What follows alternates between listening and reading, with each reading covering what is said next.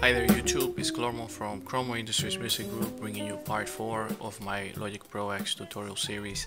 This one has to deal with chopping, splitting audio regions, getting them in a sampler instrument.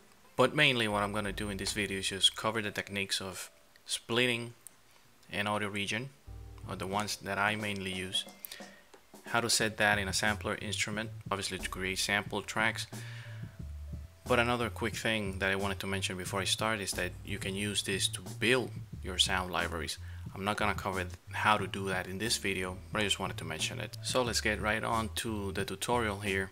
I have two tracks, a drum break or drum part in a song section that I have both detect detected the tempo of using the techniques that I show in my previous videos and I have align them to the, the proper beats or measurement in the scale here. Let's hear this drum break real quick just so you get an idea. Nothing fancy, just a simpler, simple kick and snare and hat. The first way you can chop a an audio region is using the splitting regions and events at the playhead position command.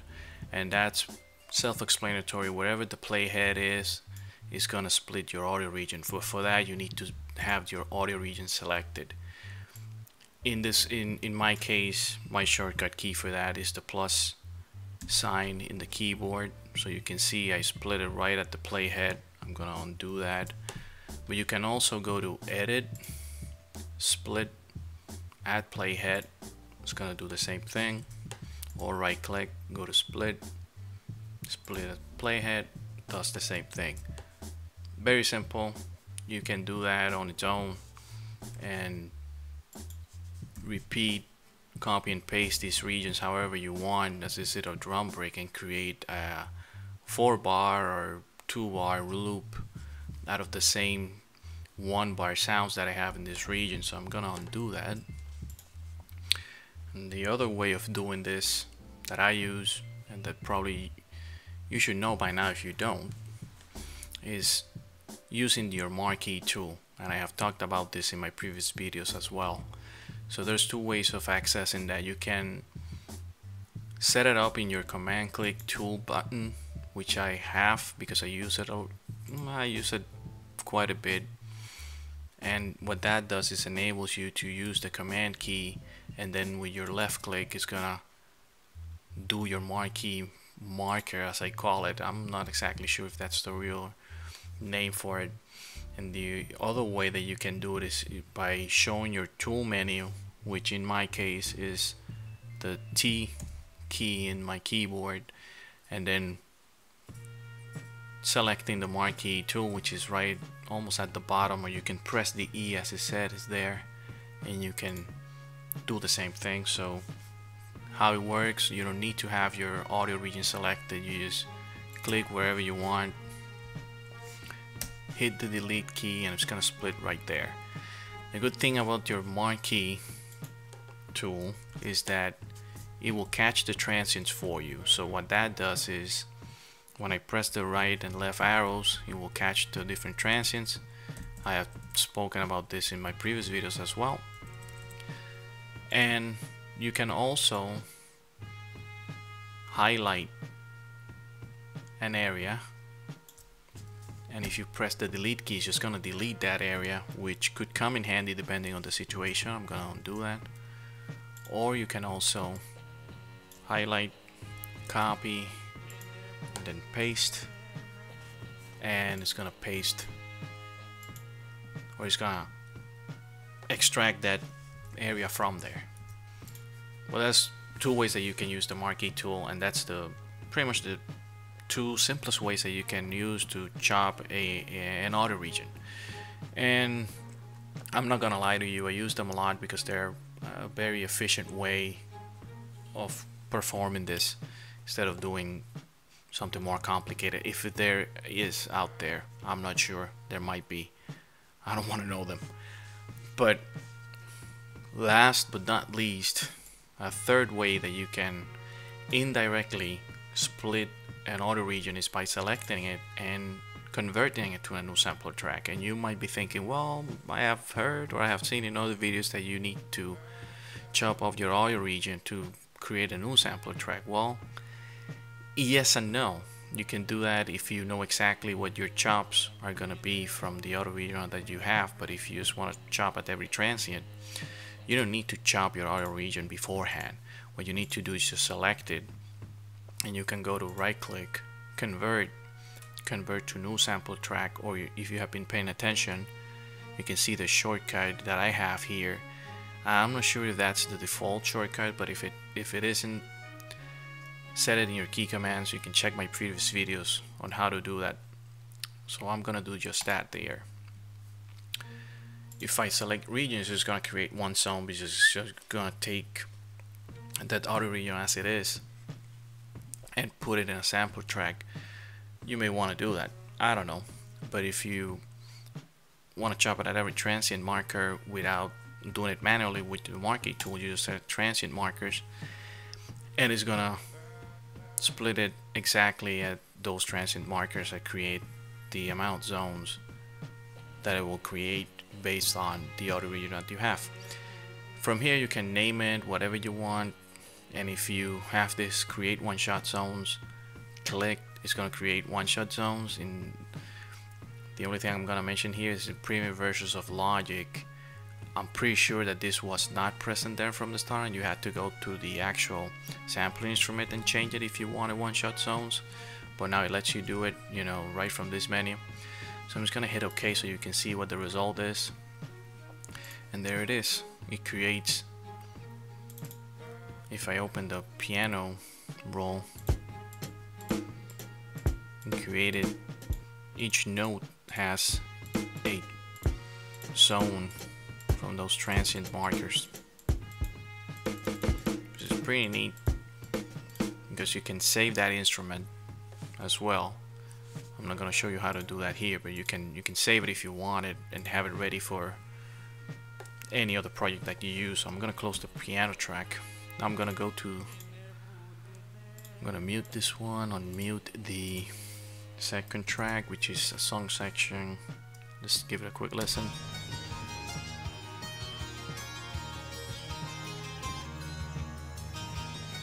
You may know where that came from or you may not you may also know or may have noticed that it's pitch because I want YouTube to stop bothering me telling me that I'm using something that's not mine. So the reason why I have this track here is to show you again the convert to a new sample track versus using the marquee tool because both should give you the same results but one is more manual than the other. And obviously using the marquee tool will let you select the exact areas that you want to chop. As you can see if I start from the very beginning of the playhead there's one transient there's another there's another. So every time I hit delete I'm gonna create a chop in that area. However you may not want to have from that transient to that transient split out. You may want to start hit there as your first split. So that's where the marquee tool will come in handy. Now if you really wanted to chop everything for a, an audio region of this type which is from a song and it's not just a simple snare where you can visualize where you want to split it probably using the full command of convert and reuse to new sample track by transient markers is going to help you more in that regard and in this case it's going to create 20 zones. So you, can see how if you're time constrained this is going to help you immensely to do that. So I'm gonna hit OK. And again I just get the same result right? So I went all the way to this node which is 20 zones according to this. So I'm gonna undo that and repeat the same process but with my marquee tool and all I'm doing is pressing my right arrow key in my keyboard and then delete to create the, the shop right that's it I'm done And now this goes back to what I said in the beginning. That you don't necessarily need to split your audio region up to create a new sample track. In this case, I since I have done it, I select everything and do the same thing. Go to the command, but instead of transient markers, I'm going to select regions. And there's my result. As you can see, that was the, if you remember, that was the last note when I did it without splitting it. And I get the same result here. So it's your choice how you want to do it. It will come in handy in some situations. Some other situations you will want to have more control with your marquee tool and that's fine. That that may happen. I'm gonna undo all of that. And I'm gonna repeat one last time that process just for the drums. With the region just to show you you see just created one-shot zone of the whole thing which is not exactly useful in my opinion but it could be. Now I'm gonna repeat that again but with the transients